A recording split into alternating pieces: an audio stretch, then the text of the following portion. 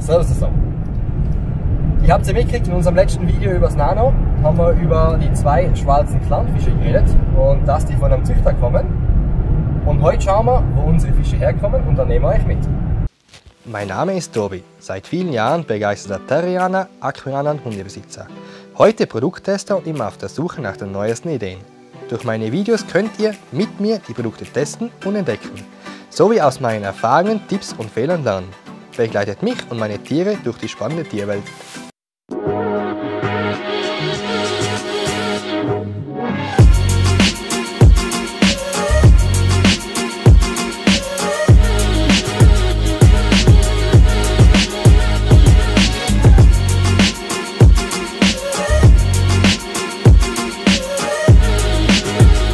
Wir sind jetzt in Augsburg angekommen beim Stefan. Erst einmal danke, dass wir vorbeischauen dürfen und die da ein bisschen dazu befragen. Gern geschehen. Mich freut es auch, dass ihr da seid. Ähm, eher gesagt, ich stelle jetzt mal ein paar Fragen, was die Zuschauer uns so interessieren. Mhm. Und natürlich alles, was du weißt, so an, an spezielle Sachen einfach reinschmeißen. Als erstes Mal würde mich interessieren, wie lange machst du das schon? Äh, Aquaristik eigentlich, ja, eigentlich schon immer. Mhm. Bin damit aufgewachsen habt halt dann früher nur Süßwasser gehabt. Dann war das 2008, da hat mich meine Schwester dann damit infiziert. Also sie hat zu dem Zeitpunkt schon drei Süßwasserbecken Aha. und dann kam dann noch ein kleines Nano dazu. Bei dem ist halt dann geblieben, dann war es ein zweites Meerwasser. Ja. Ja, und dann habe ich komplett umgestellt auf Meerwasser, habe die Süßwasser alle weg. Und das war dann so 2009, 2010. Aha dann komplett mit Meerwasser angefangen. Dann. Okay. Und was für Gedanken haben wieder angeregt, dass du sagst, okay, ich fange jetzt an, die Clownfische zum Züchten? Ich hatte damals das, die ersten Clownfische und die hatten regelmäßig Gelege. Mhm. Und dann habe ich halt da ein bisschen nachgelesen, mir ein, Besuch, äh, ein Buch besorgt von Koralle. Mhm. Und da war das auch schön beschrieben, wie man die dann aufzieht. Mhm. Auch viel im Internet danach gelesen. Mhm. Dann habe ich es halt mal ausprobiert. Ja, die ersten waren halt dann zwei, drei, was dann mhm. raus übrig geblieben sind, aber da weiß man, was man Fehler gemacht hat, wo das Problem liegt. Mhm. Meistens ist halt dann auch mit dem Wasser nicht so oft der Wasserwechsel gemacht, dann wird es dann zu extrem das Wasser von den Phosphatwerte und dann vielleicht hat er mal früher umgesetzt, dann haben die so einen Sekundentod. Okay. Und da sind auch viele immer gestorben dabei. Und jetzt mittlerweile habe ich es echt gut im Griff. Aha. Also kann man schon sagen, es, es ist schon eigentlich schwerer, die Fische richtig zum Züchten, sodass auch eine, also mehrere übrig bleiben.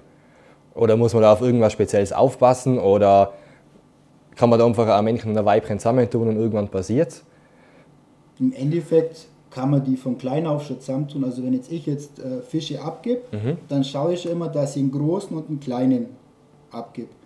Weil dann hast du schon die Möglichkeit eher, dass da dann ein Pärchen draus entsteht. Mhm. Weil das dominante Männchen wird dann zum Weibchen. Mhm. Und dann geht es eigentlich dann, automatisch. Eigentlich so das Lauf des Lebens mhm. funktioniert das, okay.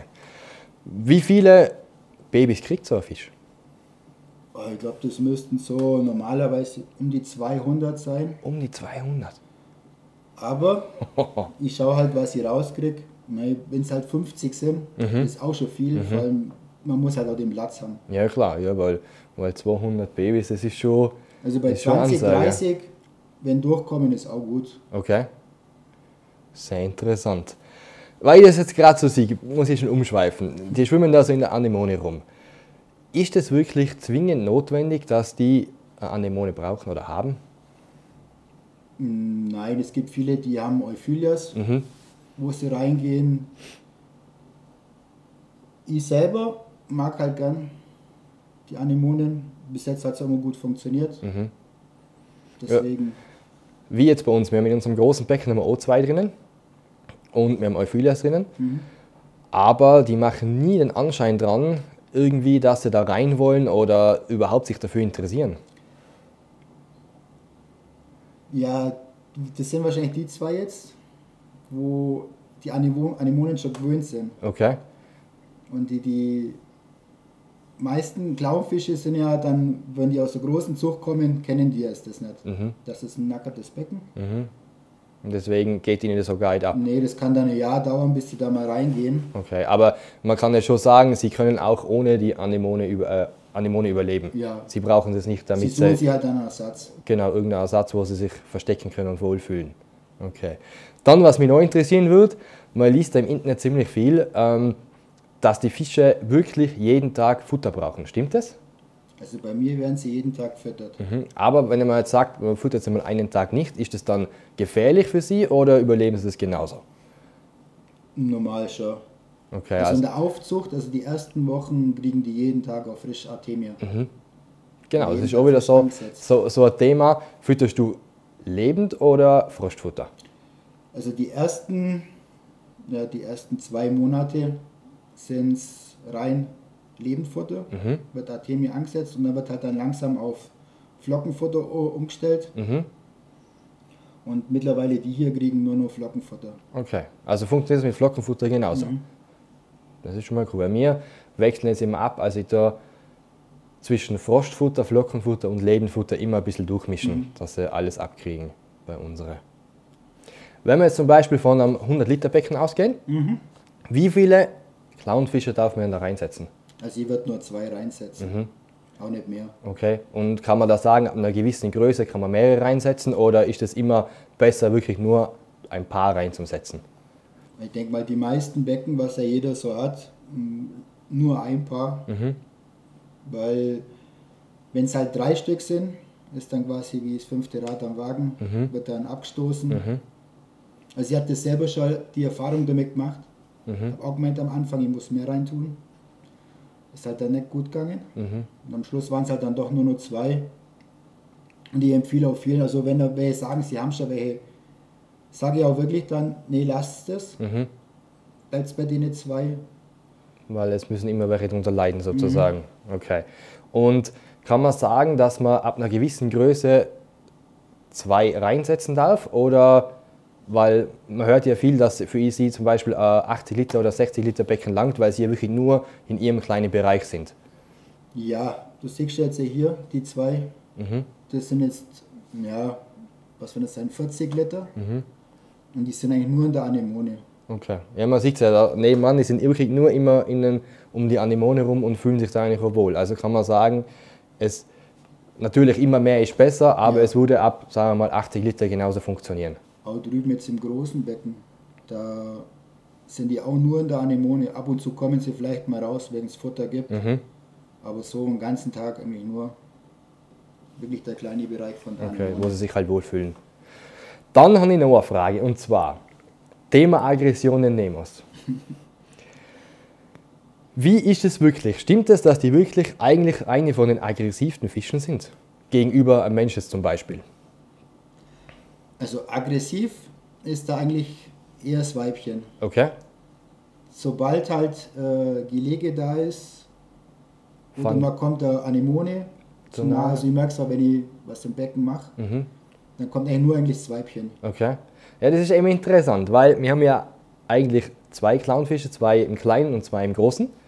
Und im großen Becken ist genau eben das Weibchen, das anfängt, meinen Finger zum attackieren, wenn ich irgendwas im Becken mache. Das ist normal. Okay, das ist normal. Und aber bei deinen zwei ist es nicht so. Die sind viel zutraulicher und, und äh, nicht so aggressiv gegenüber uns jetzt, Ja, vielleicht kommt es nur, weil sie es von daher ja gewohnt sind. dass du viel im Becken bist und arbeitest dran. Mhm, okay. Aber vielleicht kommt es nur, weil vielleicht ist da genau bei denen zwei noch nicht das Weibchen da, sind noch zwei Männchen. Mhm. Und sobald halt die dann, äh, wissen, wer was ist, dann machen sie aus, wer der Aggressive ist, sozusagen. wie Oder gesagt, wer das es verteidigt. dominante Männchen wird zum Weibchen. Ja, Also, okay. Dann Vergesellschaftung.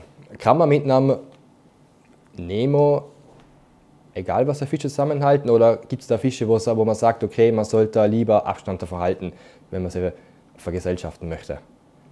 So gibt es da keine Probleme, außer es sind halt andere Arten von Clownfische. Okay. Also sonst kannst du eigentlich so ziemlich jeden Fisch mit denen zusammenhalten. Mhm. Okay. Ich habe selber schon mal versucht gehabt ähm, mit dem Bremnas. Mhm. Das ging gar nicht gut. Mhm. sind auch schöne Clownfische, aber muss die dann wieder leider raustun. weil es nicht funktioniert hat. Dann reden wir mal von Ansprüchen im Becken. Wir haben ja gerade vorhin schon darüber geredet, wegen der Anemone. Das heißt, dann hat wirklich der Fisch nur einen Anspruch, er hätte gern seine Anemone, damit er eben sich seine Wohlfühlzone aufbauen kann. Oder kann man sagen, der braucht da noch mehr im Becken? Also ich konnte also nicht mehr beobachten, dass die jetzt irgendwie mehr bräuchten. Mhm. Also es ist echt gut, wenn die Anemone haben. Also ich kann es nur mal empfehlen.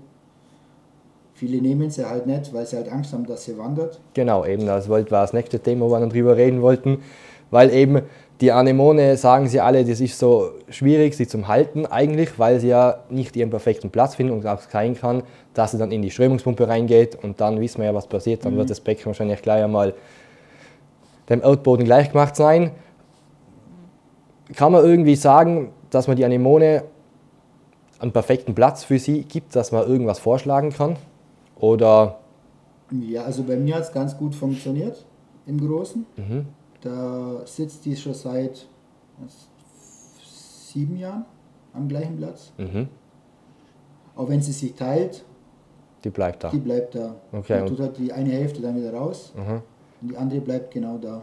Kannst du da irgendeinen Trick dazu sagen, wie man sie am besten da, dass man sagt, okay, da bleibe jetzt? Wichtig ist, dass der Fuß nicht direkt beströmt wird, dass sie sich schützen kann. Mhm, mh. So wie das damals den Stein aufgebaut habe, kann ich sie gut da drin verstecken mit dem Fuß. Mhm.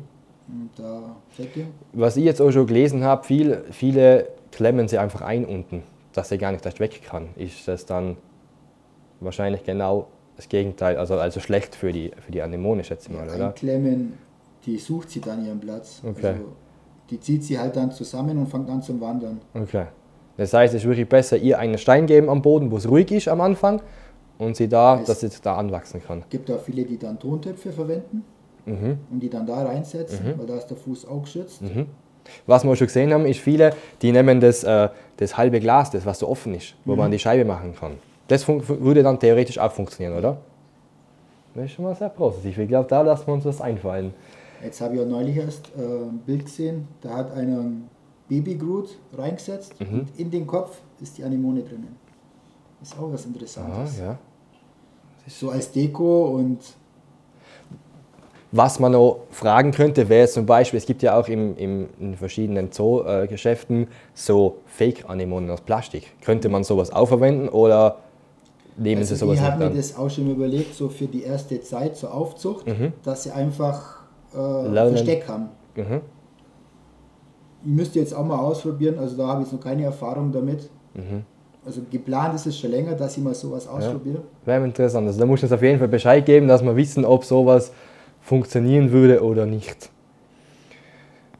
Wenn wir schon bei den Anemonen jetzt sind, es gibt ja sicher auch extrem viele verschiedene Arten von Anemonen. Jetzt kann man da sagen, es sind welche gut für die Fische und es sind welche schlecht für die Fische? Oder kann man sagen, egal welche Anemone, gefällt Ihnen?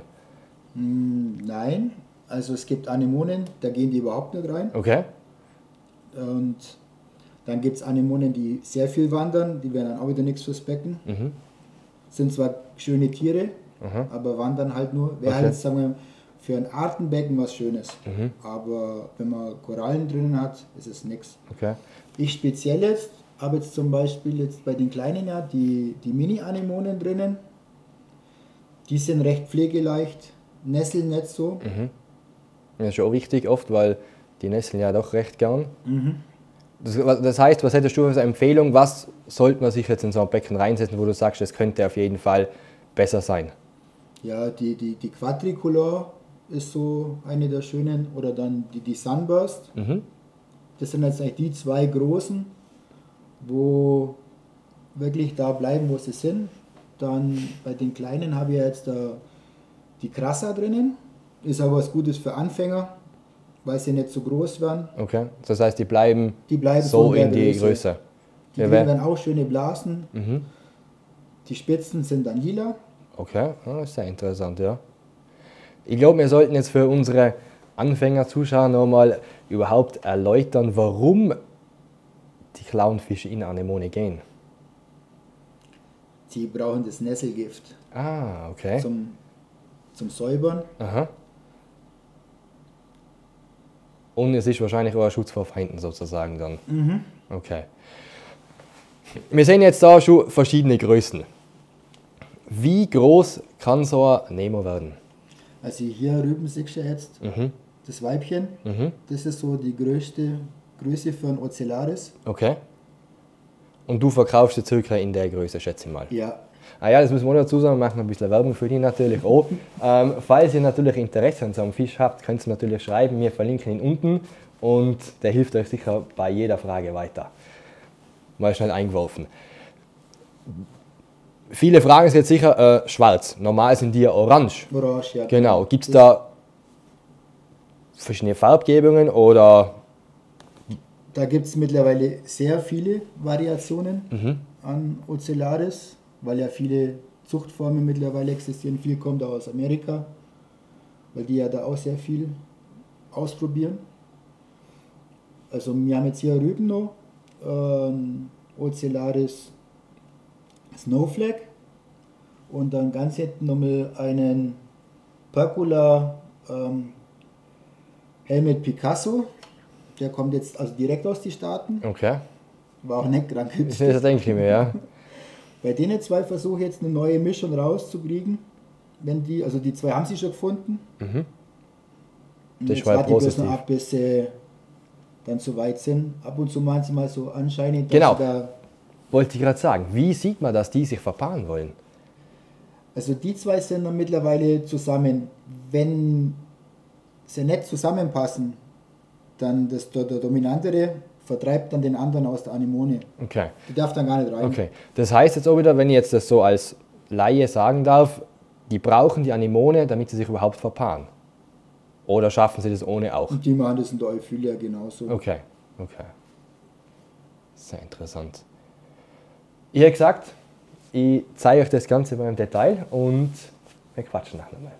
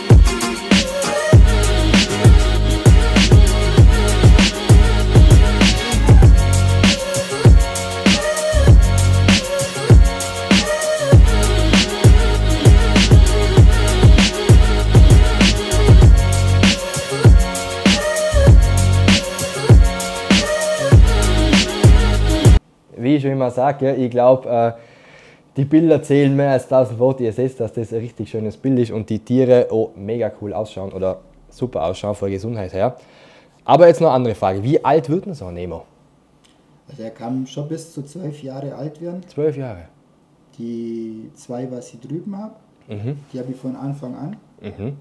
Und die legen auch noch fleißig. Okay, immer noch. Bloß leider kriege ich halt da drüben nichts mehr raus. Okay, ja, hast du erzählt wegen dem. Schellmann. Ja.